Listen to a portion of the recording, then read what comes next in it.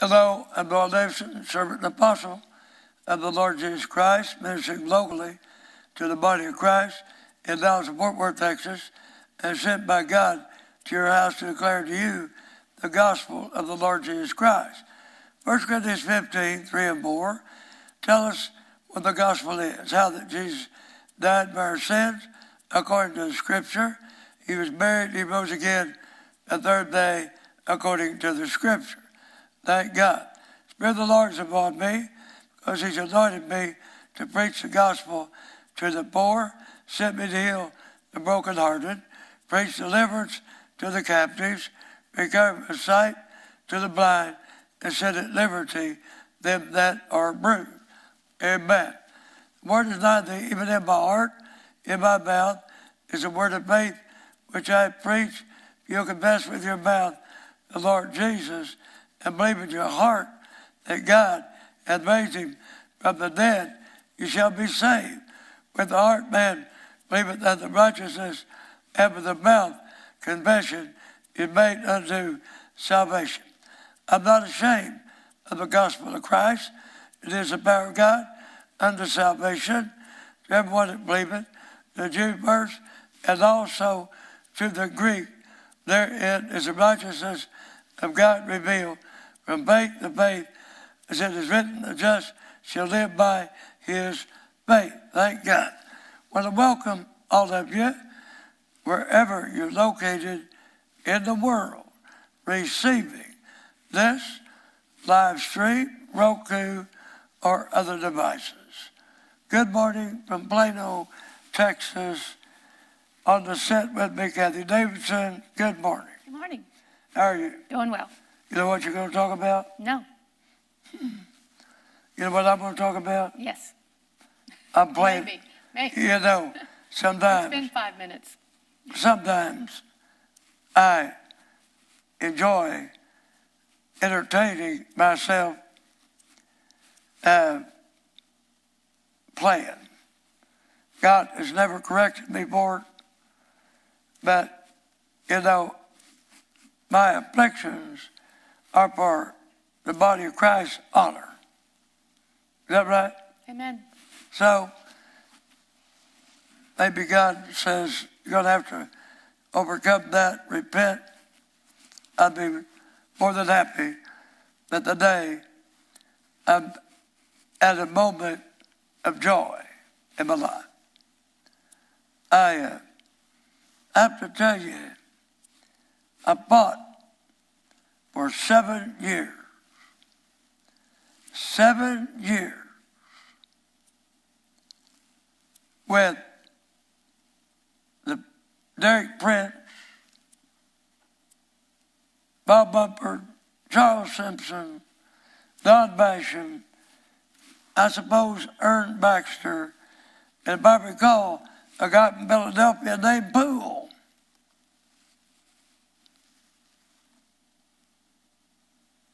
Because, understand this, I sold a very lucrative practice of veterinary medicine and my facilities at the direction of God, not by direction. I was in rebellion, yet God blessed me greatly. Remarkable how He blessed me. So,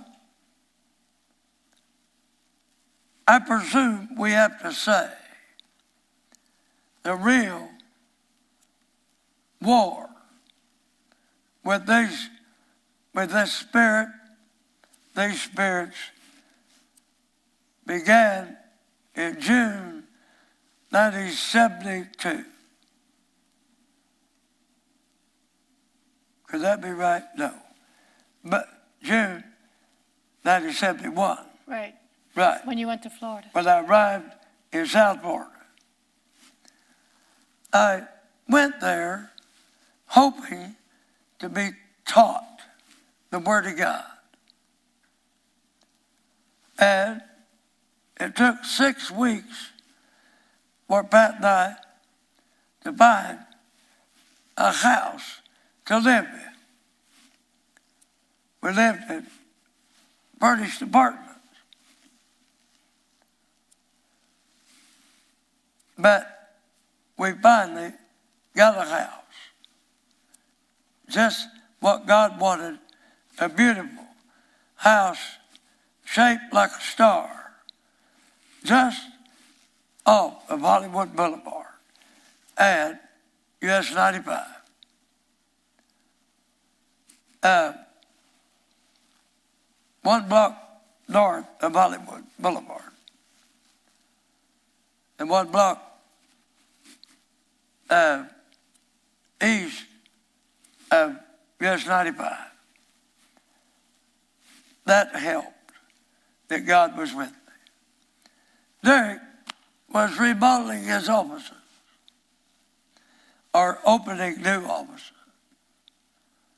And Pat and I were invited to go at night and meet all the people that were helping him in South Florida. So we went. And after all, I had more than 200 hours university level. Amen. And two degrees. So, I knew Derek had graduated from a college, Eton, I thought, maybe studied at Cambridge. I didn't care. Didn't bother me. I knew Ivy League veterinarians, and they didn't impress me. So I was standing talking to Derek, and I said, uh, Do you have any things to help me about studying the Bible? Oh, he said, I've been to university.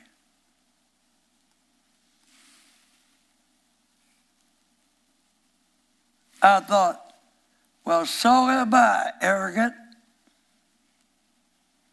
Now, I know people don't like my personality, but God made it to deal with this people. I never asked Derek another question about studying the Bible. In 1977, I bought his uh, Hebrews tapes. I'd already left him, but I thought perhaps he had something on those tapes that, on the book of Hebrews, that might help me.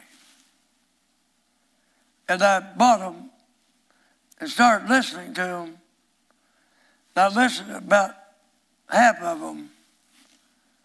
And God said, throw them away. They're false doctrine.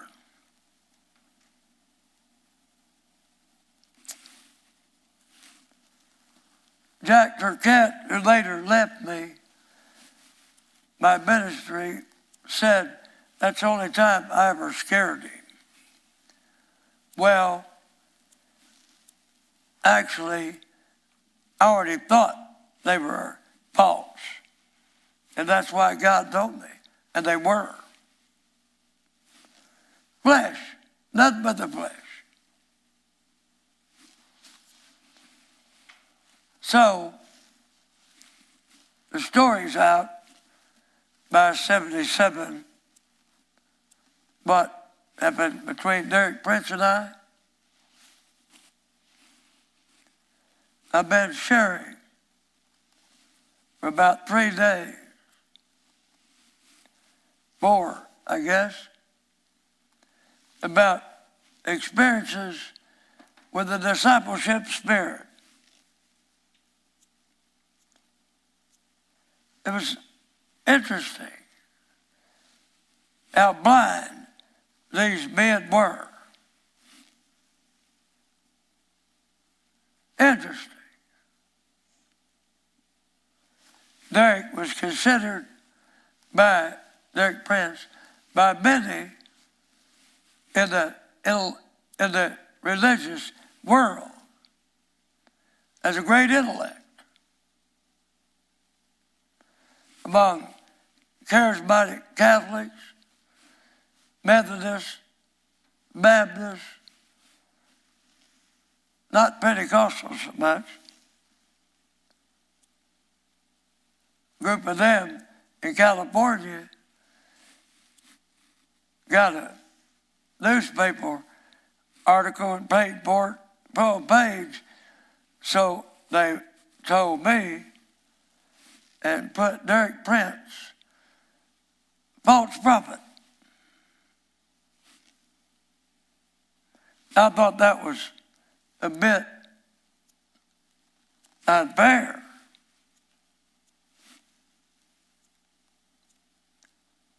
Derek was a gentleman.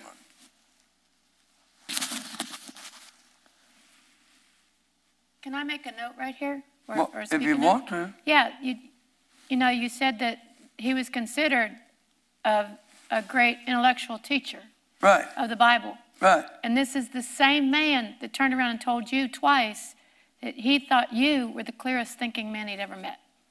That's correct. Just to put that in context. Put that, you want me to? No, I just, Oh. the note, yeah. I was going to say, I've sure put it in context. Amen. Love the guy. Now, you're not going to like what I say, but I love my enemies. I tell people that once in a while, and I qualify it with, I love my enemies. So don't get puffed up because I tell you I love you. Well, Jesus did say, love your enemies, didn't he? Yes, he did. Love your enemies. Bless them that curse you. Do good to them that hate you and persecute you. And pray for them that despitefully use you.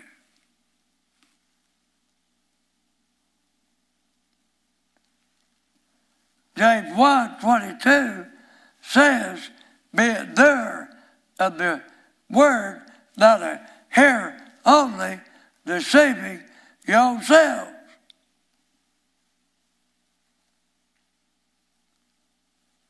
I'm not sure we're going where I thought we would. Amen. We're halfway out of time, right? We have 16 and a half minutes left. We can't go there. We don't have time. We do not have time.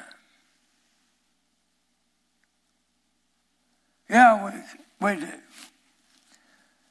Derek wouldn't even talk to me. After Lydia died and he married Ruth, I need to say, after he married Ruth, he sent me updates because he wanted me to give money. I'd given him a lot. In a short period of time, I gave $160,000 to his ministry.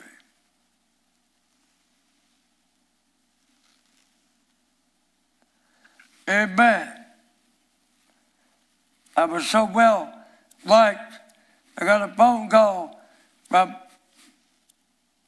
one of his business managers, I guess, and she gave me her own personal phone number. Call me anytime.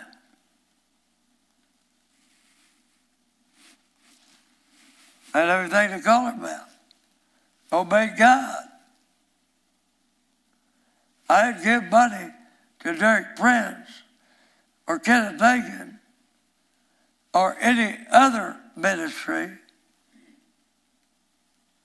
because they begged. I gave it in obedience to the Spirit of God. We're not going where, we, where I thought. 1986, I lacerated my wrist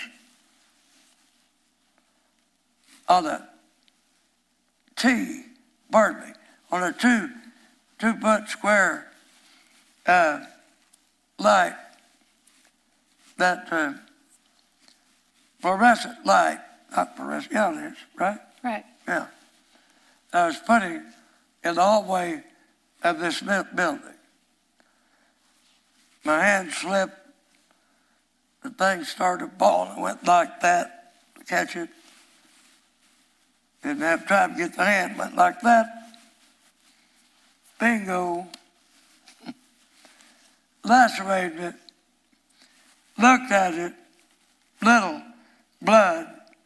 But there, I could see a tendon severed completely.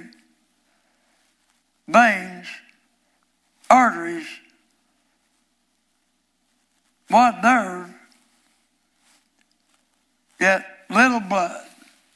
Was the artery lacerated? No. Yeah. I was None say, you saw were. you saw that the yeah they were None not. of them. Right. But guess what? The connective tissue, pardon me, that covered all of them Right. was completely severed. And there they all laid. And you surgeons know how rare that would be. That all subcutaneous tissue was severed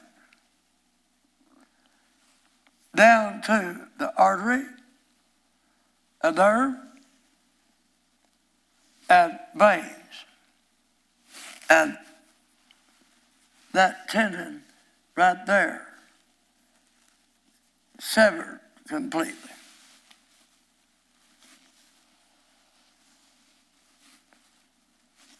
So I went to the physician, friend of mine.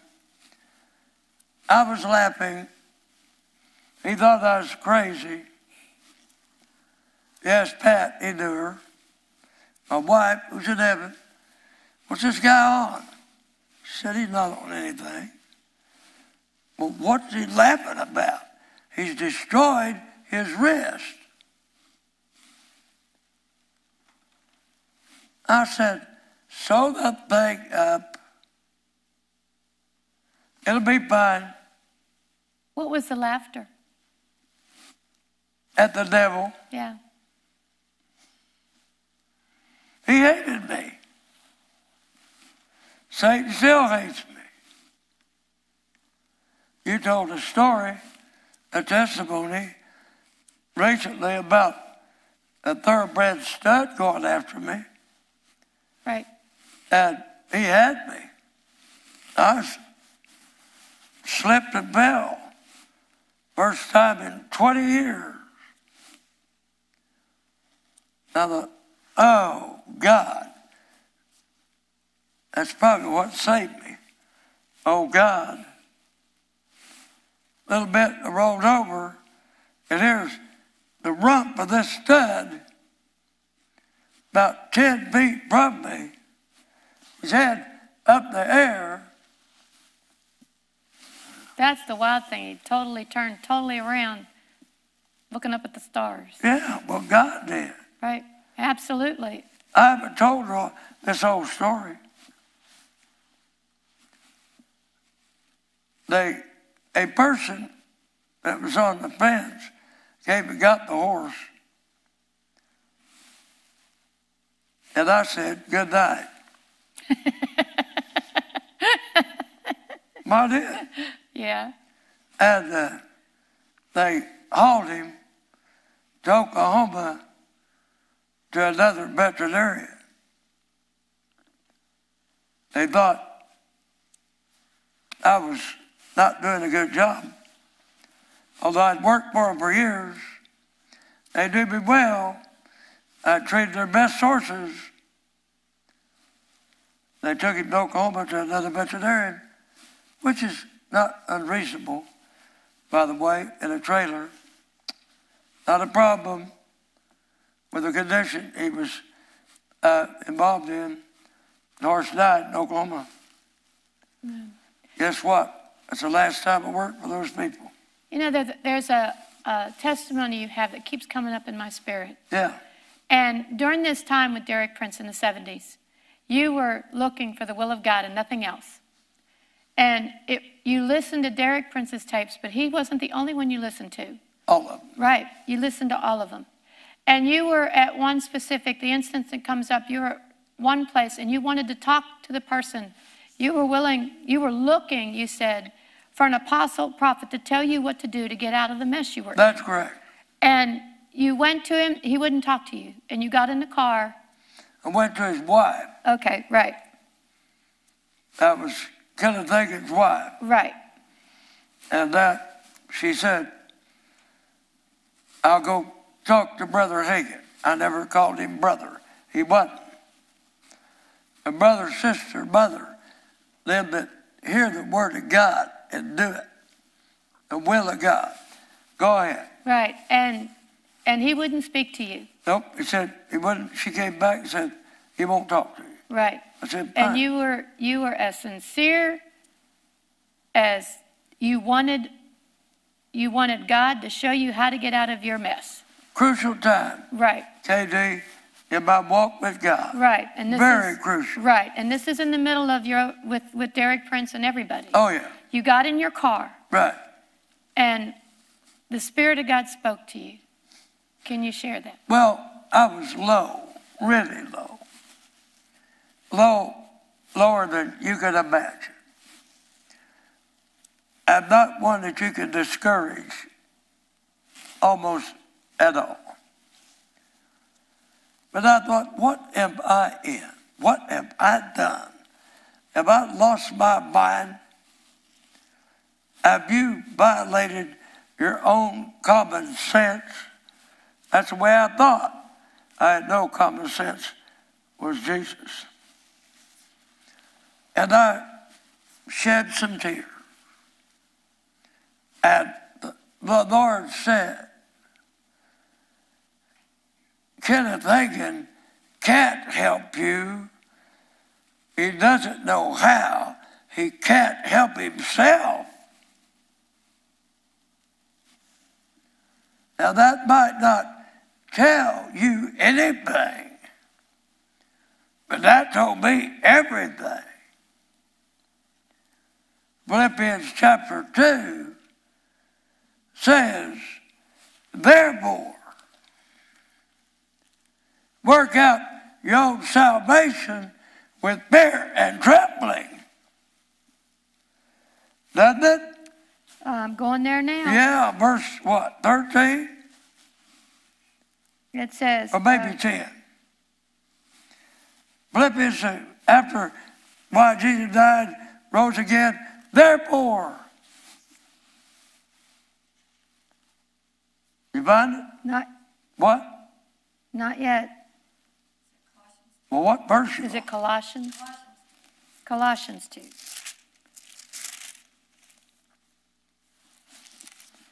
I'm sorry, folks. It is Philippians. Is that, am I wrong? What? Yeah, there it is. Wherefore, not therefore. what verse is That's, It's verse 12. Philippians No, no, 2. no. What book, what chapter? Philippians 2, verse 12. Thank you.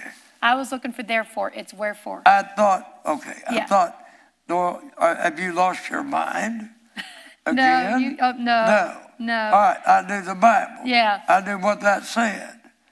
Now, what does it say? Wherefore, my beloved, as you have always obeyed, not in my presence only, but now much more in my absence, work out your own salvation with fear and trembling. Yeah. And I do that verse.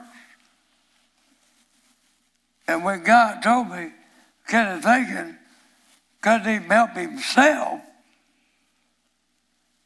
I said, then he can't help me for sure. And I don't need to talk to him. I knew how to work out some salvation. I could read the Bible, I taught it.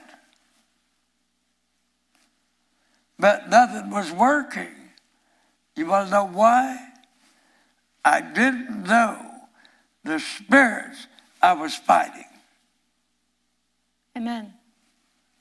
I did not know the spirits I was fighting, and as soon as Derek wrung his hands and said, I don't know what to do with you.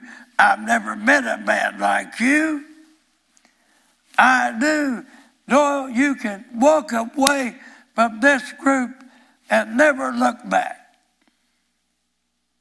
That, that experience in the car with Hagin, didn't God say something else after Kenneth Hagin couldn't help himself? I don't recall. Oh, I thought, okay, No, I don't recall. okay. I have no recollection. Sound like a lawyer talking. At what time? We've got three minutes and 30 Three- seconds Three minutes. Well, we'll get to Fort Lauderdale 88 some other day. But this is God confronting not only the spirits with uh, Derek Prince and discipleship people, but the word people. Right. Hagin, Copeland, all of them. Thank God. Amen. Bless God. Hallelujah. Praise God. My warfare is not carnal, but mighty through God to the pulling down of strongholds and casting down imagination and bringing every thought into the obedience of Christ. That's my warfare. Although I walk in the flesh, I do not war after the flesh. You found that out, haven't you? Yep. Where we at? We have two minutes left. Two minutes You 40. got anything you want to say? Only that, that if, if we're listening to you and, and God led you out, there was no minister that helped you. They would refuse, they, they refused to help you. They couldn't. Right. And it was the Spirit of God that did that. That's right. It was only God that led you out. That's and He did lead you out. You totally overcame. Right. May 77. Oh, glory be to God. Back McKinney. Right. Starting to the Methodist, back to the Methodist church. Give $100 to Methodist church. Oh, God. That freaked me. I didn't even have it. I said, well, you'll have to give it to me after other conversations. He gave it. I gave the hundred to that Methodist church, made a thousand bucks that week. Oh, right. Oh, glory be to God. Next week, the same thing. Next week, the same thing. Never stop. You've heard this gospel preached. My obedience is what brought my prosperity, and that'll bring yours. Glory be to God. You've heard the gospel, how that Jesus Christ died for our sins according to Scripture. He's buried and rose again the third day according to Scripture. You believe that in your heart, you're saved. Believe that in your heart, you're born again. You believe that in your heart, you're joined to the Lord as one spirit. If you believe that, email me. Gospel at doyledavidson.com.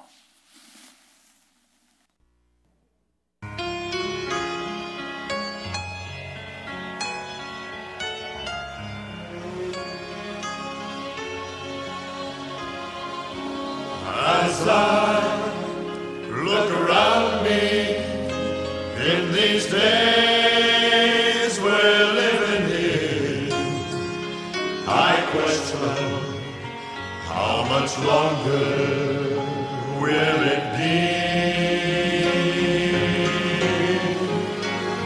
Till the Father reaches over, touches Son on the shoulder and say, Jesus, go bring our family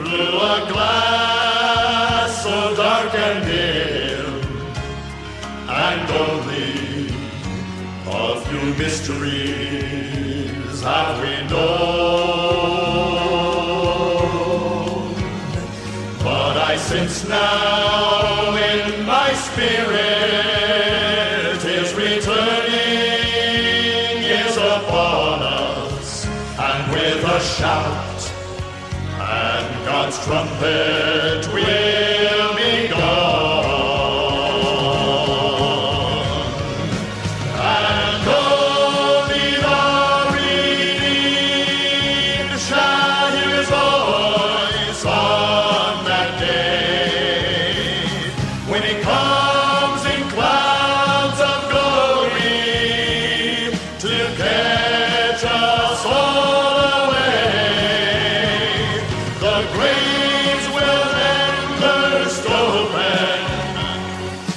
dead in Christ shall rise,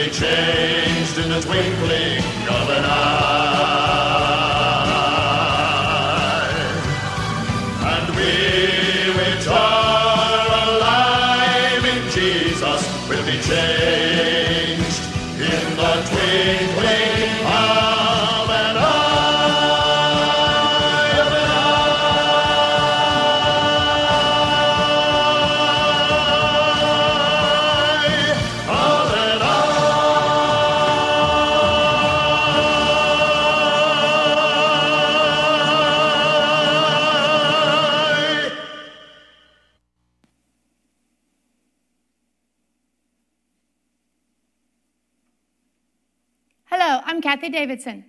I'd like you to join me and the ministers of music from Water of Life Church here in Plano as we minister to you the gospel, the death, burial, and resurrection of our Lord Jesus, which is the power of God. It was July 1915. Rees Howells and his wife Elizabeth had been called by God as ministries to, as missionaries to Africa. For Rees, this came as another step in his walk with the Lord. He was born in Wales, left school at 12 to work in the tin mines, but at the age of 22, he made his way to America to work in the steel factories around Pittsburgh, Pennsylvania, in cities that I'm familiar with New Castle and Connellsville. It was in the States that he was born again, but on his return to Wales, he learned what it meant to be, to walk in the Spirit. He ministered, became an intercessor, And now they were on their way to Africa to be missionaries. When it was time to leave, they did not have the money to take the train to London where they would aboard the ship. But Rees Howells knew what it meant to trust in God and to let God test you. There is always a tendency to keep money so as to get out of God's testings, said Mr. Howells, and they had tried their best to keep the money this time. But the money that they had, they had to spend. And yet all their friends thought that they were well supplied. So it was the week of their departure, and they thought the money would sure come to them the day before they left for London. But the mail came, no money. And their train was leaving before the mail would come the next morning. They thought it would be very hard to say goodbye to their own son, little Samuel, and their uncle and aunt who were the, going to keep him but the lack of the train money made the parting a little easier. The Howells found that this was often the way with the Lord. When they had something very hard to do, he would burden them in another way to make the former a little easier. The next morning, it was not so hard to depart from their parents because they had to walk to the station without the necessary funds. They felt sure that someone would come to them on the station platform, but no, no money. The time came for the train to leave. What were they going to do? Well, there was only one thing possible. They had with them 10 shillings. So they would take the train as far as that 10 shillings would take them, and then their end would be God's opportunity. They had to change trains in Llanelli Station, about 20 miles from their home, and wait there for a couple hours so without letting anybody know, that's as far as they booked the train. There were there many people that came to see them off at their home station, wishing them good tidings. But what they really need, needed were the funds to get to London. Many also came with them as far as Llanelli, singing all the way. Rees Howells thought to himself, I'd sing a lot better if I had this money. At the Llanelly station, they went out to breakfast with some friends and they walked back to the station, still not delivered from their problem. And now it was time for the train to come. The Spirit of God then spoke to Rees and said, If you had the money, what would you do? Well, Rees answered back quickly, I'd take my place in the line at the booking office. Well, the Spirit of God replied, uh, have you not preached that my promises are equal to current coin? Take your place in the line. There was nothing Rees Howells could do except obey. There were about a dozen people in front of him. They were passing by the book window one by one. And the devil kept telling Rees, Now, you have only a few people in front of you, and when it's your turn, you'll have to walk right on by. You have preached much about Moses with the Red Sea in front and the Egyptians behind, but now you're the one that's shut in. And Rees Howell answered the devil, Yes, shut in, but like Moses, I'll be gloriously led out. And he stayed in line. Then, when there were only two people in front of him, a man suddenly stepped out of the crowd and said, I'm sorry. I can't wait any longer. I must open my shop. And he said goodbye and he reached out and he put 30 shillings into Rees Howells' hand.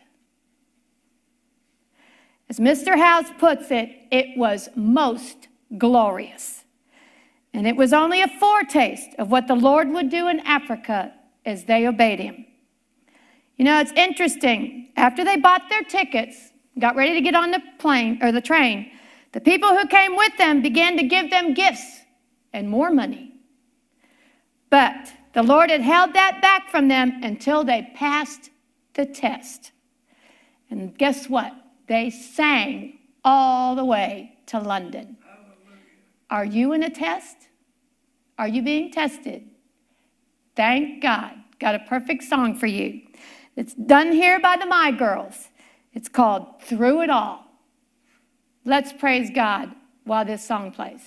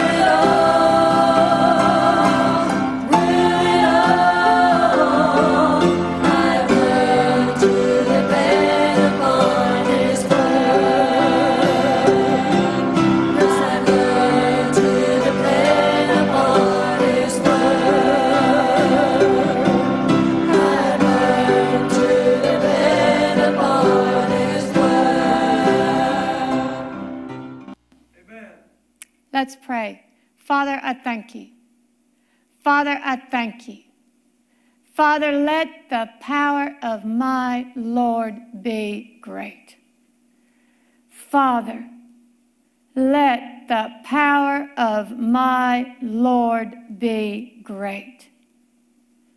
Grant your people repentance. Father, grant us repentance. Open our eyes that we can see. Open our hearts like you did for Lydia, that we can attend unto the things which are spoken. Turn us from darkness to light, from the power of Satan unto God. And I ask this in Jesus' name. Amen. Amen. I grew up in a denominational church. And I went there, I was, as a young child, I kept my ears open. I listened to what the pastor was saying because I wanted to know if anybody knew God, if anybody knew anything about them, if, if, about Him, if they would help me. And you know what I heard the pastors that I grew up with say? They said that when you prayed to God, that He answered four ways, actually five. He would, if you would ask God a question or if you'd pray, God would either say yes or no or maybe or wait or what I thought wouldn't even answer you at all. That's what I saw growing up in the denominational churches. Now, I want to show you out of the Word, not your church tradition not what you've heard from the people around you. We are going to only go to the Word of God. And remember what I always say Jesus said in John 10 the Word of God, the Scriptures, cannot be broken. They can't. So I want to go to um, Matthew 8. I'm going to read a couple things out of here, and then we're going to do a couple verses. But I'm going to show you how God answers your prayers how he will answer, and how you can count on him to answer your prayers. Verse 1, chapter 8. When Jesus was come down from the mountain, great multitudes followed him. Amen. And behold, there came a leper, a leper. Now, for those young enough that don't know what leprosy is, it's a contagious disease. And it gives you huge ugly, disgusting sores. It eats your flesh. And it gets so bad if, if it's not, if God doesn't step in, that your fingers, your toes, your limbs will actually be, they'll fall off. They'll fall off. It's a contagious disease, and nobody in Jesus' time was allowed to get near that had the disease to anybody else because nobody else wanted it. Nope. It's easy to see why. But this leper came to Jesus, and it says, And behold, there came a leper and worshiped him, saying, Lord, notice, there came a leper. Came. I want you to look at that word came. I want you to keep that word in your, in your ear. The leper came to him, worshiped Jesus, saying, Lord, if thou wilt, thou can make me clean. And you know what Jesus said? He said, No. He said, Maybe. He said, Well, you're going to have to wait. Is that what Jesus said? Let's go back to the Word of God. And Jesus put forth his hand and touched him, saying, I will, I will be thou clean. And immediately, immediately, the leper was cleansed. Now let's go down a couple more verses. Verse 5. And when Jesus was entered into Capernaum, there came unto him a centurion. Came unto him a centurion. There's that word again. Came.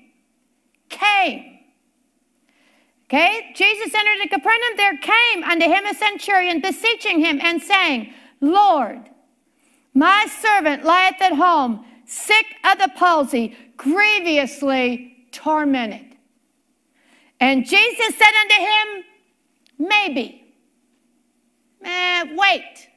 No, not today. Is that what the Word of God says? No. What does the word of God say? And Jesus said unto him, I will come and heal him. I will. You know, Doyle has told a story in these last 30 years I've been here that got to my heart. He was praying for a horse, and the horse died. Thanks for the prayers, said the horse. The horse died. And Doyle wondered why the horse died. And you know what the Spirit of God told him? And I've got permission to tell this story. The Spirit of God told him, You not only th- thought that I would heal the horse, you didn't even think I could heal the horse. Amen. Do you hear that? You not only thought that I would, that I wouldn't heal the horse, you didn't even think I could heal the horse. Oh. What did Jesus say to the centurion? I will come and heal him. And you know what? He did. He did. One more verse in Matthew 8, verse 16. It said, And when evening was come, they brought unto him many that were possessed with devils. Look at that first sentence again. When evening was come, they brought unto him. They brought unto him many that were possessed with devils. And he cast out the spirits with his word and healed all that were sick. What was the prerequisite? What was the prerequisite here? They brought him to him. They brought the sick and the demon possessed to him. What happened with the leopard? He came to Jesus. What happened with the centurion? He came to Jesus. Do you catch what I'm trying to say? This verse says, All that came, Jesus healed. Jesus healed. Let's go to another verse. I'm going to go to Luke 6, and I'm going to read verse 17. And this is Jesus. He came down with him and stood in the plain, and the company of his disciples, and a great multitude of people out of all Judea and Jerusalem, from the seacoast of Tyre and Sidon, which came to hear him and be healed of their diseases. Came. Jesus healed all that came to him. You know, I looked this up. I wanted to make sure there are 13 scriptures in Matthew, Mark, Luke, and John where everybody, the multitudes, the multitudes that came to him, he healed them all. What was the prerequisite? They had to come. They came. They came. We got a young lady around here by the name of Candace, and she always says, Go to God. Well, they came.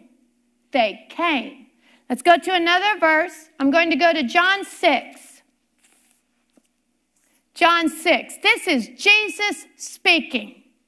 He said, All that the Father giveth me shall come to me, and him that cometh to me I will in no wise cast out. Amen. Let's read that again. And him that cometh to me, I will in no wise cast him out. I can hear some of you saying, at the beginning says, All that the Father giveth me shall come to me. And you say, Well, what if the Father didn't give me to Jesus? Did you hear the second part of the verse? Did you hear the second part of the verse? I sound like your mother, don't I? Can't you hear the second part of the verse? It says, And him that cometh to me, I will in no wise cast you out. Does that sound like no to you? Does that sound like wait to you? Does that sound like maybe to you? Everyone that comes to Jesus gets what they need. You don't believe that? One more. Let's go to another verse. Second Corinthians chapter 1. I'm going to read verse 8, uh, begin in verse 18. But as God is true, and our word towards you was not yea and nay. This is Paul speaking about the gospel. Our word towards you was not yea and nay, yes or no, or maybe or wait. It said, Our word toward you was not yea and nay, for the Son of God, Jesus Christ, who was preached among you by us, even by me and Silvanus and Timotheus, was not yea and nay, but in him was yea. Yes. Next verse. For all the promises, all the promises, all the promises of God in him, in Jesus, are yes, and in him, amen, to the glory of God by us. You come, notice the word come, to Jesus, looking for forgiveness. You're going to get it because all the promises in God are yes and amen. If you go to Jesus searching for healing, asking for healing, you're going to get it because all the promises in Him are yes and amen. If you need deliverance and you go to Jesus, remember the prerequisite is you got to come. You got to come. You're going to get what you ask for. Why? Because all the promises in Jesus are yes, amen. yes, and amen. Now, how can that be true? How can that be true? One last verse Romans 8.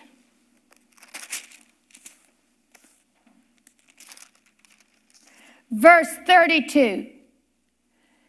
And he that spared not uh, let's go to verse 31. What shall we say then to these things? If God be for us, who can be against us? He that spared not his own son. This is the Father. He that spared not his own son. How shall he not with him freely give us all things? because he spared not Jesus, and that Jesus paid for your sin. He paid, took on your sickness, your disease, your perversities. He took on your poverty. He took on your, your no peace. He took on all of that on his own body on the tree, died, was buried, and was raised again the third day that is why all the promises of God in Him are yes and amen. The only thing you got to do is come to Him. Come to Him.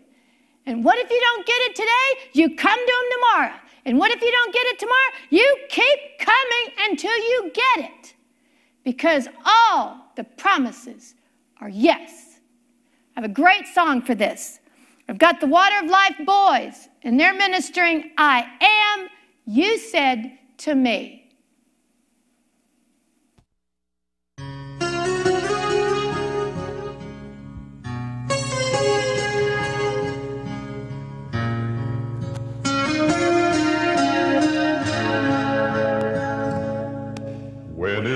Dark in my heart You brought life to me, a child of darkness became a child of light. And when my soul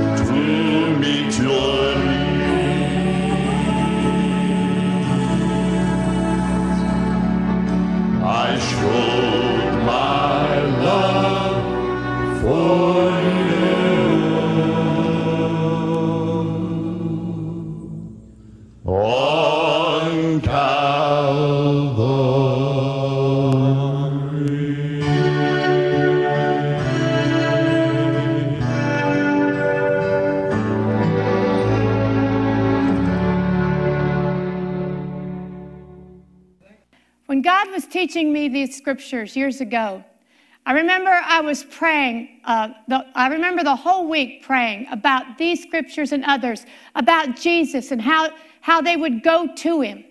And I remember telling the Father, you know, I don't even think you can, that you could, that Jesus would even let you touch him.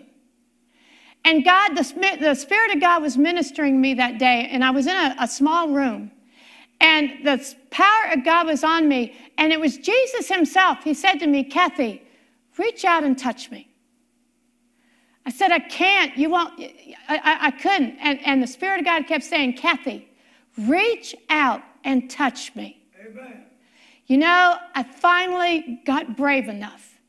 And I took my hands and I put them out as if I were going to touch Jesus. You know, he wasn't, he wasn't afraid of me. He wasn't afraid of me. Do you know when my hands, they actually touched the wall, but when they touched that wall, the power of God just flowed through me. So much so, I fell to my knees. And God started delivering me from the rejection that told me you can't touch him. You can touch him.